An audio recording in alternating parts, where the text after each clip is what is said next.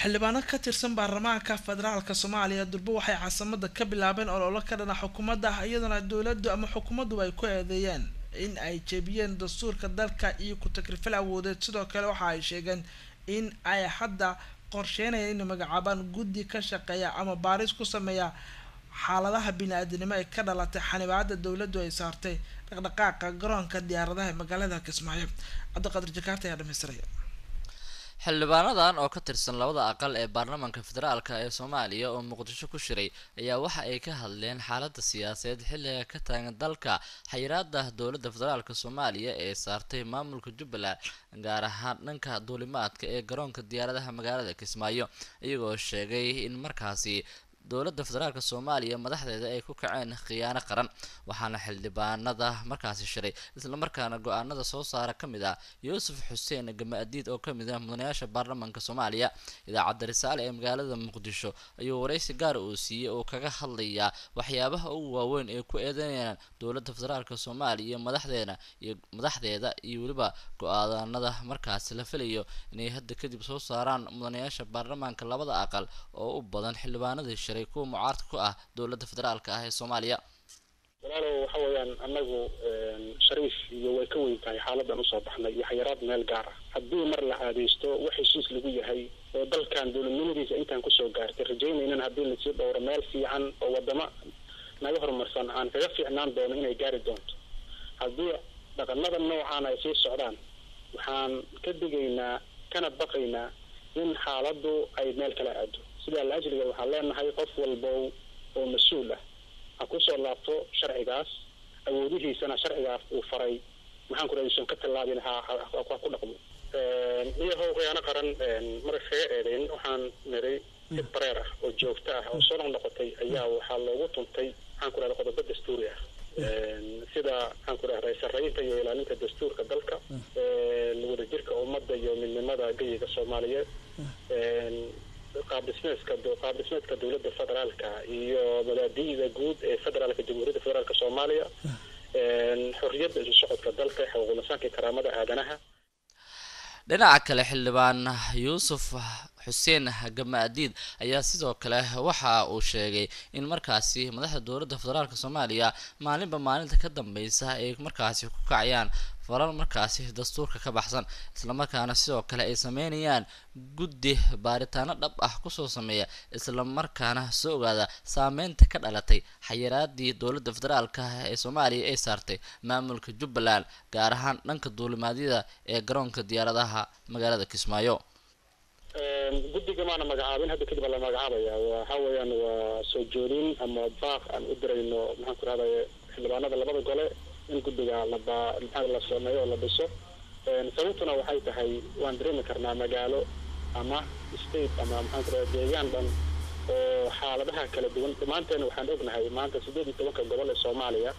gobollada tasiilaadka caafimaadka u dhamaystiran yahay hal iyo laba inay yihiin.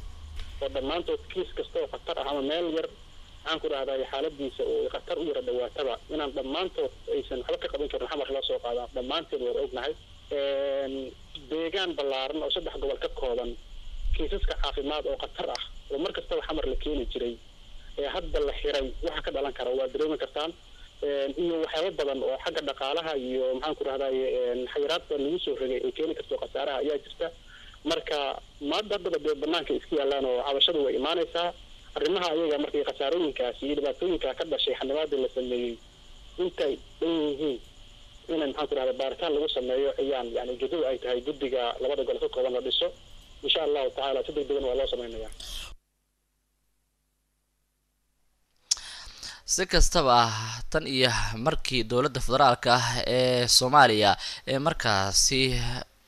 madaxweynihii hore ee soomaaliya sheekh shariif sheekh axmed iyo weliba xubno kale oo ka tirsan siyaasiyiinta mucaaradka ku ah dowladda ee u diiday inay ka qayb galaan xafladda caleemasaarka islamarkaana ay ka duulaan garoonka diyaaradaha ee magaalada caasimada ee muqdisho si ay u gaaraan kismaayo ayaa waxaa soo kordhay xasarada siyaasadeed waxaana maalmihii la soo dhaafay muqdisho ka socday kulamo kala duwan iyadoo dowladda federaalk soomaaliya ay ka hortegayso in laga qayb galo caleemasaarka madaxweynaha dowlad goboleedka jubbaland axmed maxamed islaam axmed madoobe oo qorshahu ahaa in ay dhacdo maalintii birita ah ha yeeshee warar soo baxaya ay sheegayaan in dib loo dhigay maadaama inta badan madaxdii lagu casuumay in markaasi aysan halkaasi tegin. Kadib markii dowladda federaalk soomaaliya ay gebi ahaanba joojisay duulamaadadii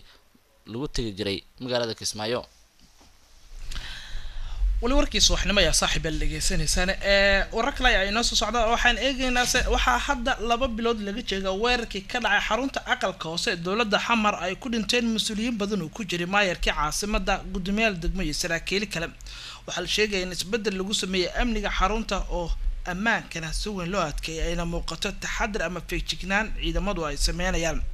Waxaa gelinkii dambe ee shalay ammaanka xarunta gobolka banaadir la wareegay ciidamo cusub kuwaasoo bedelay ciidamadii hore ee ka tirsanaa booliiska gobolka banaadir. Sida ay sheegayaan ila xogo waa ila wareedyo lagu kalsoonaan karo iyo weliba wararka oo ay tibaaxayn ciidamadan cusub ee la wareegay xarunta aqalka dowladda hoose xamar ay yihiin ciidamada birmidka ee ka tirsan booliiska soomaaliyeed. Waxaana ay fariisimo ka sameysay goobihii ay horey kaga sugnaan ciidamadii hore ee booliiska ilaalinaya amniga xarunta gobolka. Ciidamadan cusub ee la wareegay xarunta gobolka banaadir ayaa waxaa taliya looga dhigay sarkaal lagu magacaabo cabdisalaan oo horey ka mid ahaa xubnaha ama sida weyn u ilaalin jiray xarunta amniga taliyana ka ahaa xilligii gudoomiyihii gobolka banaadir uu joogay yuusuf xuseen jimcaale.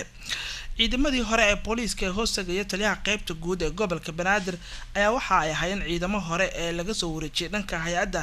sirdoonka iyo nabad sugidda qaranka.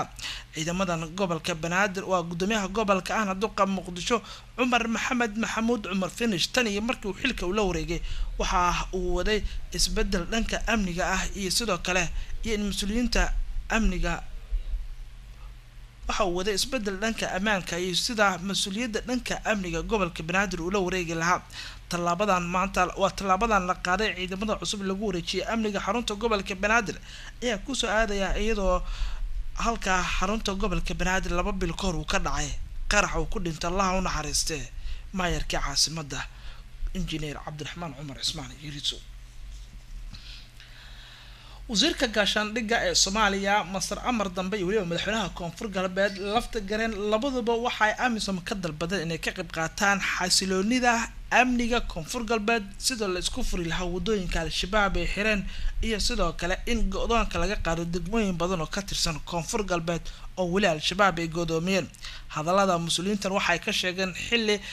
taliska sector tiri ama qeybta saddexaad ee amisom ee gobollada ba iyo bakool isbeddel lagu sameynayay oo ayna la wareegayeen askar ama qeyb cusub qeybtii horena la bedelay. Waxa ay sheegeen in qeybtan cusub ee hadda amisom loo wareejiyay halkaas ay ka doonayaan xasiloonida iyo in la isku furo waddada dheer ee muqdisho iyo baydhabo sidoo kale baraabe iyo muqdisho iyo weliba waddooyinka kale ay xireen al-shabaab iyo deegaanada ay goodoomiyeen wasiirka gaashaandhigga soomaaliya oo arrintaa ka hadlaya iyo weliba madaxweynaha koonfur galbeed waxay yidhahdeen anigoo tixraacaya ee dib u dhiska ciidanka xoogga dalka soomaaliyeed iyo anigoo fiirinaya nidaamka ee transition planka ama kala guurka shaqooyinka badan oo maanta noo yaalla waxay tahay inaan dhisno ciidanka xoogga dalka soomaaliyeed qeybihiisa kala duwan. Iyo sidoo kale in line with the un security council resolutionkii transition planka waxaa qeyb adag ka ah oona noo muhiimsan in laga shaqeeyana ay tahay sidii aan ku furi lahayn waddooyinka isku xira ee muqdisho iyo baydhabo muqdisho iyo beledweyne iyo muqdisho iyo baraawe iyo guud ahaan ee dalka meelaha runtii ururada argagixisada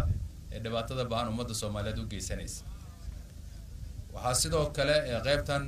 si gooni aan raba inaan ugu xuso sidii aan ku furi lahayn ama lagu furi lahaa ee gobolka bakool iyo magaalada baydhabo iyo degmooyinka oo runtii aan dhihi karo amsa maanta ee qeybta saddexaad waxay ka howlgalaan dhammaan degmooyinka ee koonfur galbeed ee soomaaliya gaar ahaan baayo bokool fur galbeed ciidamada joogo waxay u qeybsan yihiin saddex nooc. Ciidanka s n a ciidamada daraawiishta iyo ciidanka boliiska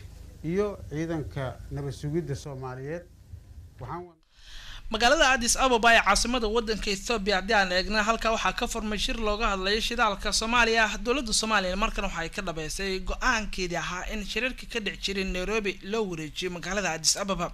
Wasiir ku-xigeenka wasaaradda batroolka iyo macdanta xukuumadda soomaaliya maxamuud cabdiqaadir hilaal ayaa addis ababa ka furay shir muhiim ah oo ay wasaaradda batroolka iyo macdanta soo abaabushay kana qaybgalayeen xubno ka socda guddiga kheyraadka ee labada aqal ee baarlamaanka dalka. Wasaaradaha kheyraadka dowlad goboleedyada iyo weliba hay'adaha kale ee bahwadahagta ah ay wada shaqeeyaan wasaaradda. Shirkan ayaa sidoo kale waxaa ka qaybgalaya khubaro ka timid wadanka norway wuxuuna socon doonaa muddo kooban waxaana diiradda lagu saari doonaa dardargelinta ka faa-ideysiga kheyraadka gaar ahaan shidaalka sida ugu wanaagsan ee loo maamuli karo kheyraadka alle uu ku manaystay wadankan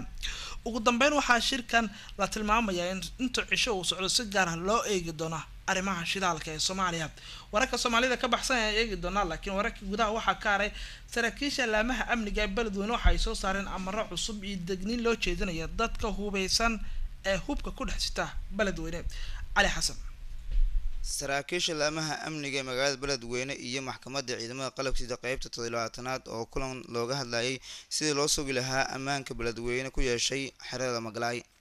Kulanka ayaa laga soo saaray qodobo ay ka mid yihiin dardargelinta dagaalka dhanka ah al-shabaab la dagaalanka waxyaabaha maanka dooriya oo lagu isticmaalo magaalada beledweyne iyo sidii looga mamnuuci lahaa beledweyne gawaarida beensalka ah oo ay dadka isticmaalaan taliyaha guutada shanaad qeybta toddobaatanaad ee ciidamada xooga dalka korneel faarax cali waasuge faarax kooshin iyo xeraalyaha maxkamadda ciidamada qalabka sida qeybta toddobaatanaad dhame maxamed cabdiqaadir maxamed ayaa warbaahinta u faahfaahiyey kulanka markii uu soo ilaado kadib waxyaabihii ka soo baxay. Jaraa'id maanta ilaamaha amniga iyo maxkamad iyo xafiiska xeer ilaalinta ay ku yeesheen xafiiska guutada ujeeddadu wuxuu ahaa in aan ka hadalno dhowr qodob. Sida taliyaha uu sheegay waxaa magaalada ka socda howlgal. Waxaan rabaa howlgalkaasi inaan horta dadka u bayaaniyo. Howlgalkaas wuxuu bilowday maalintii khamiista la soo dhaafay habeenkeedii jimcaha. Waxaa howlgalka sameynayey waxay ahaayeen ciidamada qalabka sida ay ugu horeeyaan ciidamada militariga iyo nabadsugidda iyo waa hagaag xisbiga dimuqraadiga mareykankana waxa ay wadaan qorsho xilka kaga waa xilka kaga xayuubinayaan hogaamiyaha dalkaasi mareykanka ee kelitaliska lagu eedeeya donald trump.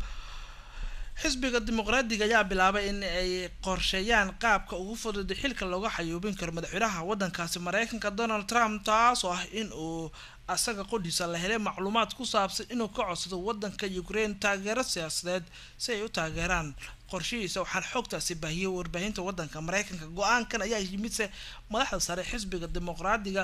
oo ay sheegeen in ay ka shaqeyn doonaan sidii madaxweynaha wadankaasi mareykanka guud ahaanba xisbigan